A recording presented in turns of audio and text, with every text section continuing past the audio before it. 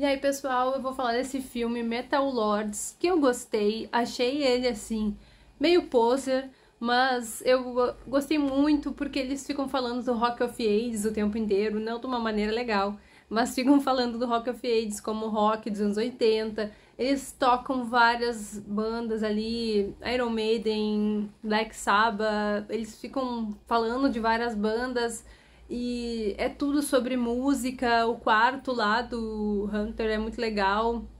Então, sabe, é, é um filme assim um pouco nostálgico, apesar de ser bem bobinho, assim, ele é um pouco nostálgico. E é legal também a gente ver aquele egocentrismo daquele guri, assim, e o que, que ele faz e o que, que acontece com ele, sabe?